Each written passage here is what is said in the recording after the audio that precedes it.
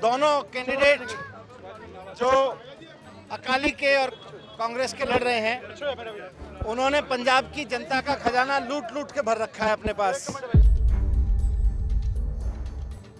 कांग्रेस, जिसका ना रोज़गार से लेना देना था, ना किसी काम से लेना देना था, वो बीते जमाने की बात हो गई। आप घर लौट चलें। अब सिद्धू साहब को उन्होंने कहा कि चन्नी साहब ने आपको सीएम कैंडिडेट नहीं बनने दिया, मैं आपको एमएलए नहीं बनने दूँगी, ठोको ताली। लोग कह रहे हैं, जी, हमने मन बना लिया है कि जिन लोगों ने जनता का खजाना लूट लूट के भर रखा है, उनको इस बार हराना है।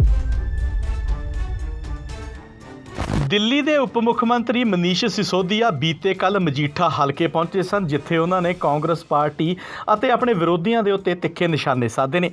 ਇਸ ਮੌਕੇ ਤੇ ਉਹਨਾਂ ਨੇ ਗੁਨੀਵ ਕੌਰ ਮਜੀਠੀਆ, ਜੋ ਕਿ ਬਿਕਰਮ ਸਿੰਘ ਮਜੀਠੀਆ ਦੀ ਪਤਨੀ ਹੈ ਤੇ ਮਜੀਠਾ ਹਲਕੇ ਤੋਂ ਉਮੀਦਵਾਰ ਹੈ, ਅਕਾਲੀ ਦਲ ਦੇ, ਉਹਨਾਂ ਦੇ ਉੱਤੇ ਵੀ ਨਿਸ਼ਾਨਾ ਸਾਧਿਆ। ਨਾਲ ਹੀ ਉਹਨਾਂ ਨੇ ਇਹ ਗੱਲ ਵੀ ਆਖੀ ਹੈ ਕਿ ਮਜੀਠਾ ਹਲਕੇ ਤੋਂ ਇਹ ਜਿਹੜੇ ਕਾਂਗਰਸ ਅਤੇ ਅਕਾਲੀਆਂ ਦੇ ਉਮੀਦਵਾਰ ਖੜੇ ਨੇ, ਇਹ ਪੰਜਾਬ ਦਾ ਖਜ਼ਾਨਾ ਖਾ ਗਏ ਨੇ। ਇਸ ਮੌਕੇ ਤੇ ਉਹਨਾਂ ਨੇ ਇਹ ਗੱਲ ਵੀ ਆਖੀ ਹੈ ਕਿ ਕਾਂਗਰਸ ਪਾਰਟੀ ਹੁਣ ਜਿੱਤ ਦੇ ਸੁਪਨੇ ਲੈਣੇ ਭੁੱਲ ਜਾਵੇ ਕਾਂਗਰਸ ਪਾਰਟੀ ਦੀ ਤਾਂ ਰੁੱਤ ਜਾਂਦੀ ਰਹੀ ਆ ਹੁਣ ਆਮ ਆਦਮੀ ਪਾਰਟੀ ਨੂੰ ਲੋਕ ਪਸੰਦ ਕਰਦੇ ਨੇ ਆਮ ਆਦਮੀ ਪਾਰਟੀ ਦੇ ਨੇਤਾਵਾਂ ਨੂੰ ਲੋਕ ਪਿਆਰ ਕਰਦੇ ਨੇ ਅਤੇ ਇਸ ਵਾਰ ਜਿੱਤ ਵੀ ਆਮ ਆਦਮੀ ਪਾਰਟੀ ਦੀ ਹੀ ਪੱਕੀ ਆ ਹੋਰ ਕੀ ਕੁਝ ਕਿਹਾ ਹੈ ਇਸ ਮੌਕੇ ਤੇ ਮਨੀਸ਼ ਸਿਸੋਦੀਆ ਨੇ ਆਓ ਸੁਣਦੇ ਹਾਂ अपने हल्के में दोनों कैंडिडेट जो अकाली के और कांग्रेस के लड़ रहे हैं।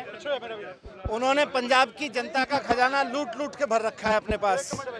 और हमारे डॉक्टर साहब जो बहुत ईमानदार, बहुत जुझारू और समाज के लिए सोचने वाले व्यक्ति हैं, वो जनता के बीच में चुनाव में है झाड़ू से। और हर तरफ़ दक्षिणी हल्के में लोग कह रहे हैं, जी, हमने मन बना लिया है कि जिन लोगों ने जनता का खजाना लूट लूट के भर रखा है, उनको इस बार हराना है। लेकिन सिसोदिया साहब बड़े बड़े दावे किए जा रहे हैं पंजाब को दोबारा से वहाँ पर ही लेके आने के लिए। कैसे समझते हैं जो, और सीएम के चेहरे को कैसे देखते हैं कांग्रेस के आप? कांग्रेस तो छोड़ दीजिए, अब कांग्रेस बीते जमाने की बात हो गई है। पंजाब का भविष्य आम आदमी पार्टी है। पंजाब का भविष्य अच्छे स्कूल हैं, पंजाब का भविष्य अच्छे अस्पताल हैं, पंजाब का भविष्य नशा मुक्त पंजाब है, पंजाब का भविष्य नौजवानों की रोजगारियाँ हैं। अब कांग्रेस, जिसका ना रोज़गार से लेना देना था ना किसी काम से लेना देना था वो बीते जमाने की बात हो गई। पंजाब मॉडल पंजाब मॉडल जो लॉन्च कर रहे हैं वो तो कह रहे हैं कि हम जो है यहाँ पे रेवेन्यू जो है करेंगे जनरेट करेंगे। कौन कह रहे हैं? सिद्धू साहब बोल रहे हैं। हाँ सिद्धू साहब जो अठारह नुक्ती प्रोग्राम बनाया उन्होंने। सिद्धू साहब हमारी जो ईस्ट की कैंडिडेट हैं उन्होंने बड़ा अच्छा लिखा था मैं उनका ट्विटर हैंडल पढ़ रहा था कि आप घर लौट चलें। अब सिद्धू साहब को उन्होंने कहा कि चन्नी साहब ने आपको सीएम कैंडिडेट नहीं बनने दिया मैं आपको एमएलए नहीं बनने दूँगी ठोको ताली। दलित दलित का कार्ड खेला कांग्रेस ने इस बार फिर। क्या लगता कामयाब पाएगा दलित कार्ड जो खेला गया सिद्ध- अ, चन्नी साहब ने सौ दिन में दिखा दिया कि वो कितने बेईमानी की सरकार चलाने वाले हैं अगर उनको गलती से भी मौका मिल गया तो सौ दिन का सैंपल उनका इस बात का सैंपल है कि कितनी बेईमानी की कितने करप्शन की कितनी लूट की सरकार चलेगी। डॉक्टर इंद्रजीत सिंह निज्जर है एक तरफ़ तो डॉक्टर साहब हैं दूसरी तरफ़ जो है वो आपको पता है माफिया राज चल रहा है। आपको लगता है कि इस इस हल्के को डॉक्टर की ज़्यादा ज़रूरत है क्योंकि वेंटिलेटर पर है इस इस हफ़्ते इस हलके को और पूरे पंजाब को डॉक्टर साहब जैसे कैंडिडेट्स केजरीवाल जी के कट्टर साथियों की ज़रूरत है जो जीत के जाएँगे तो हल्के के लिए भी काम करेंगे पंजाब के लिए भी काम करेंगे।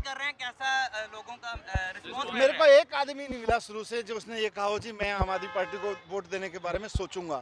हर आदमी ने ये कहा मैं तो मन बना चुका हूँ जी आम आदमी पार्टी को ही वोट दूँगा सोचने की बात ही नहीं है। मजीठा में भी गए थे मजीठा में कैसा रुझान देखने को मजीठा में इस बार विक्रम मजीठिया जी का किला खत्म हो जाएगा। बोर्ड बोर्ड कांग्रेस के देखने को मिल रहे हैं लोग आपको वोट करने की बात कर रहे हैं कैसा वो हमने तो सुना है कि जो ये कैंडिडेट हैं उन्होंने इतना पैसा कमा लिया है सरकारी खजाने को चूना लगा लगा के कि उनके घर पे भी हेलीपैड है।